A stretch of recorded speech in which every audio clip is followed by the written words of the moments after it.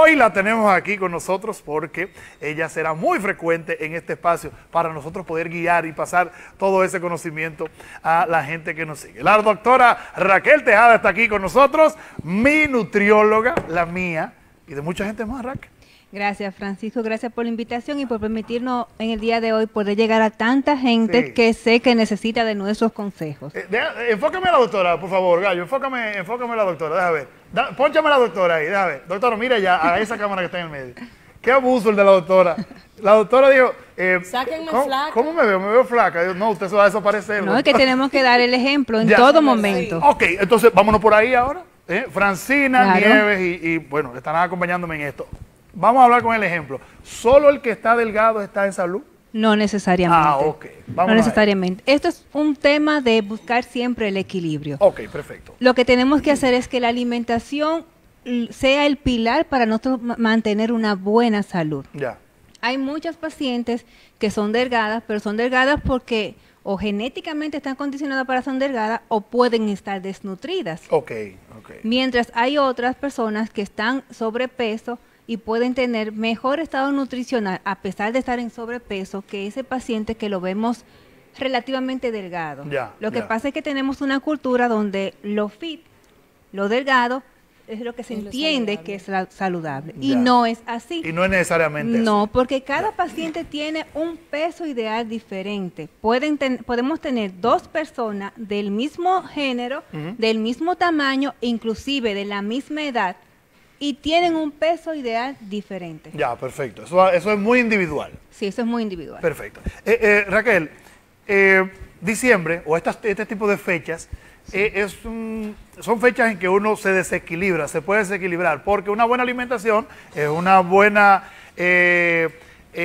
una buena manera de ingerir los líquidos, lo esto, lo otro, lo sólido, todo lo demás. En diciembre uno si no se pasó con la comida, se pasó con, la, bebida. Y si no se pasó con la bebida, se pasó con la comida. Los dulces también. Perfecto, con los tipos de comida. Después de ya esta guerra que uno ha vivido, esta batalla, y uno salió vivo, llegó arrastrado allá, los pasos para uno empezar una desintoxicarse, sería así, o, de equilibrarse, los pasos ahí entre lo que entre lo que pasó y lo que debe venir. Sí, mira, realmente en diciembre son de las temporadas donde mayor descompensación en todos los sentidos. El diabético se descompensa, el hipertenso se descompensa, porque realmente al no tener una cultura de que la alimentación es un estilo de vida, una alimentación saludable es parte de un estilo de vida saludable. Entonces entramos en modos vacaciones, pero también le damos vacaciones al ejercicio y también le damos vacaciones a llevar un régimen. Lo único que entra en vacaciones, después lo otro es a, fajarse. Porque fíjate que hasta el gimnasio, la gente, el gimnasio disminuye impresionantemente. Hay una foto donde ven el, gimnasio en diciembre y el primero de enero como está. Hay una diferencia impresionante. El desierto y después... Ahora, ¿qué es lo que tenemos que...? Lo ideal era no subir, porque se ha demostrado científicamente que en diciembre hay un aumento entre 2 a 5 kilos. Porque comemos no, no, espérate, hablando de kilos. Kilo es 2.2 libras. 2.2 libras y en un mes la gente puede subir a 5 kilos. sí, porque el problema es, una barra de turrón tiene mil y algo de calorías. Y de una, como decimos en Y uno hay una fiesta. Sentado tranquilito. Y uno lo que pasa es que en, diciembre, por tantas actividades que hay, eh, uno peca. O sea, que sí, que si el manicito que está ahí en la mesa, por ejemplo, que si la bebida, creo que usted... La bebida tiene una buena cantidad de, calorías. ¿Cuánto tiene más o menos? Muchas calorías y sobre todo no te tomas un traguito. Un traguito. un traguito. Un traguito. El tema es que si desde, desde nos planificamos desde la mañana, sabemos qué actividades vamos a tener durante el día y lo que buscamos es ese equilibrio durante el día. Vamos a desayunar más ligero, vamos a almorzar un poco más ligero y si sabemos que vamos a tener un poquito más de libertad en la cena, pues simplemente ese equilibrio. Vamos a, si tenemos que inclusive aumentar la actividad física, pues en la mañana como lamentablemente no tenemos ese concepto de que eso es parte de lo que debemos de hacer en el día a día, salimos en la mañana, hacemos ejercicio. Doctora, es como un equilibrio. Es un equilibrio. Mire, mi teoría es que no hay ningún alimento bueno ni malo. Lo que está faltando es mm. equilibrio. Mm. ¿Qué, señor. ¿Cuál es la bebida que se recomienda tomar? Por ejemplo, ya teniendo un estilo de vida porque hay que decirlo. o sea, no quiere que le suelten O la sea, si bebida. tú no puedes dejar Ya, no eso. algo, para No mí es muy difícil dejarme de tomar una copa de vino o, o si salgo, no tomarme quizás un vodka, que aprendí a tomar vodka. ¡Ey, Eh, ey, no, sí. No, no, no. Sí, es lo que tomo, porque realmente como uno vive en dieta, tú sabes, Sí, te enseñan sí. a que la vodka, que es, lo que, vodka- es, lo, es lo más ligero. Sí. Sí, tiene, es más ligero, tiene menos calorías. Ahora bien, hay yo una cosa que es sumamente Atiendan, importante. señores, que usted lo que honesta. quiere estar bebiendo. Si es esto. hidratación, no hay nada que va a sustituir el agua. Pero entendemos, entendemos obviamente que la alimentación tiene mucho que ver con, tiene que cumplir con un rol social. Una alimentación que te limite a tú poder compartir con tus amigos, entonces no es una alimentación que es adecuada para ti. Lo que Ay. hay que aprender a manejarse dentro de lo que tenemos, saber elegir. Como hay gente que lleva de cantina a las reuniones. Sí, hay No, gente que lleva yo tengo Lo que amigas. Hay gente que lleva aprender. cantina a las reuniones. Sí. No, hay que aprender a, a comer y para poder, cuando estamos en ese tipo de situación, elegir con la cabeza. Ya, ok. Y No con el estómago. sí, Lógico. No con el pienso que estómago. También el objetivo tenerlo bien claro. Consultando. Claro, eso es así. Yo después le voy a pasar la factura. En no consulta, eh, que está nieve. Claro. Doctora, eh, hay mucha Ay. gente que dice, yo no como mucho. Eh, yo no como mucho, todo me engorda, pero realmente lo que no come es, o sea, cantidad grandes de arroz, de habichuela, de carne, pero sí le gusta la comida chatarra. Ya. Claro. Entonces, por ejemplo, para tratar un paciente que vaya por primera vez y hacerle un plan alimenticio, ¿qué, qué hace un nutriólogo? O sea, ¿opta por quitárselo todo así de golpe?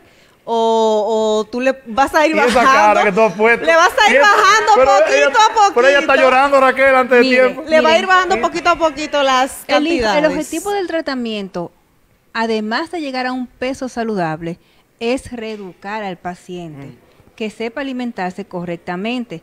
En la primera fase, una de las cosas que el profesional de la salud en el área de la nutrición hace es un recuento alimentario. Ahí uno identifica cuáles son los alimentos preferibles, los que más le gustan al paciente y también e inclusive lo que más fácil tiene acceso. Entonces, dependiendo de eso, se desarrolla un plan de alimentación. Ahora bien, quitarle de repente eh, drásticamente, como por ejemplo en, el en el tema de las gaseosas o Sí, del café a un paciente, no se recomienda. Uno lo que, lo que generalmente hace es que inicia retirando, cambiando el tipo.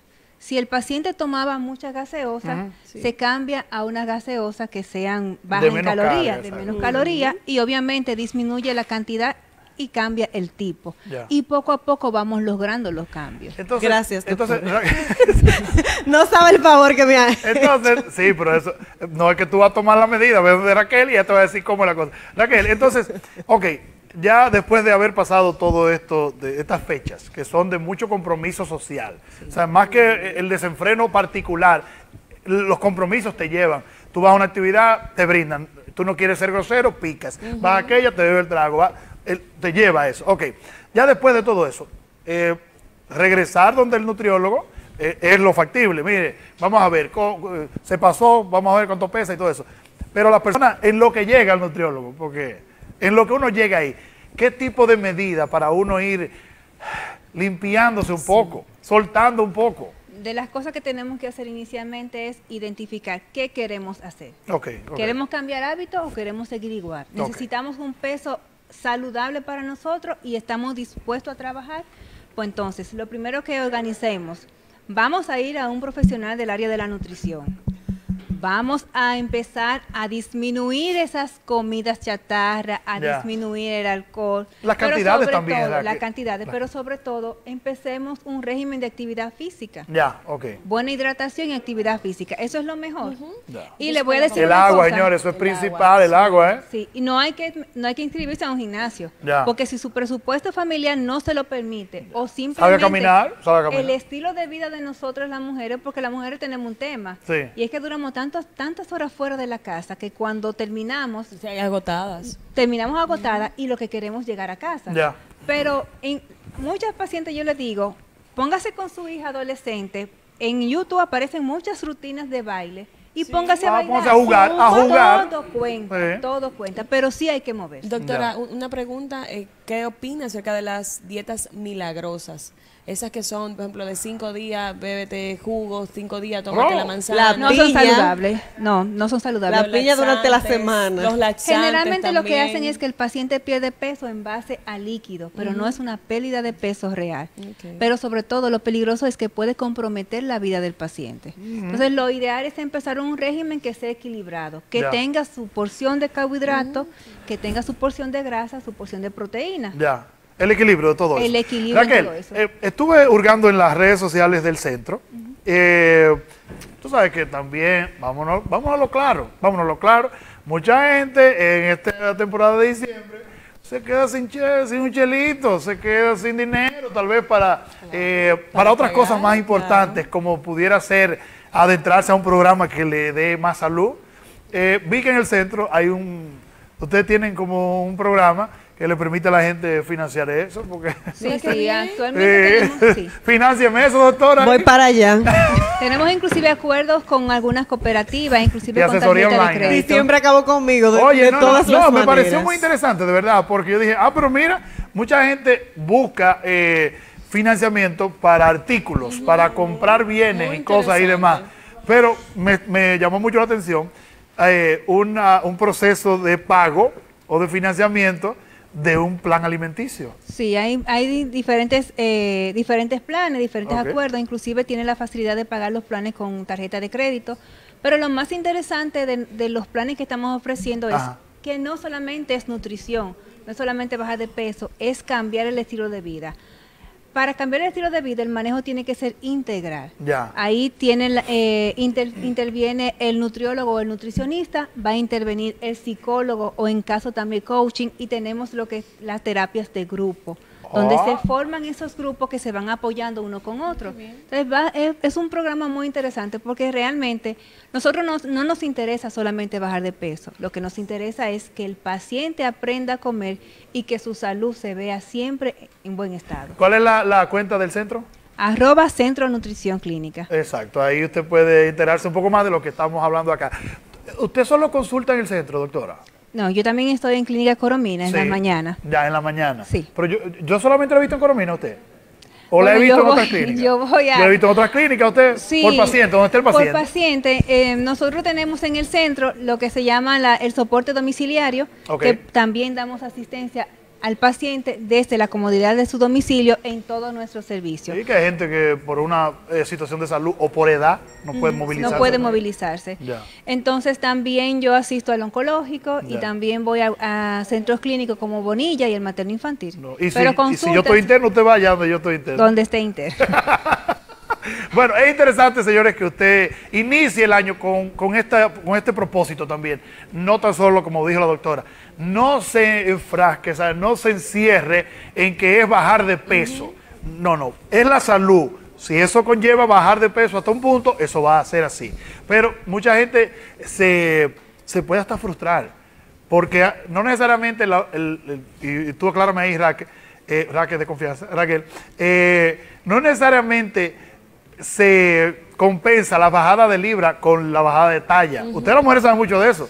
A mí- a mí me el pasa ple- mucho. el pleito de ustedes con el peso, pero ya la ropa les A sirve. mí me pasa Ya- mucho Ya, la ropa le está Si sirviendo. tú eras 8 y supuestamente bajaste algunas libras y el pantalón 8 te sigue quedando, o sea, es frustrante para Exacto. una mujer. A mí Sí, me sí. pasa que yo bajo muchas medidas y bajo, o sea, pero sin embargo las libras no tanto. Las Lo que tendríamos que identificar que- es en base a qué tú estás perdiendo peso. Hay un estudio que se llama bioimpedancia, que es un estudio de composición corporal, y nos puede ayudar a nosotros a identificar que si tú bajaste 5 libras en un mes, ¿en base a qué la perdiste? Ya, ya. Porque si esas 5 libras la perdiste de agua, entonces el tratamiento no fue exitoso. Oh, Pero si esas 5 libras la perdiste de, De grasa. tejido graso, entonces entendemos que es un tratamiento muy exitoso. Bueno, eh, doctora, sus redes sociales. El arroba doc- DRA Raquel Tejada. Bueno, ahí adéntrese a las redes de Raquel eh, y las del centro, que La dijimos centro, arroba. arroba Centro Nutrición con los teléfonos 829-724-4050. que está en los jardines metropolitanos, en la calle jardines-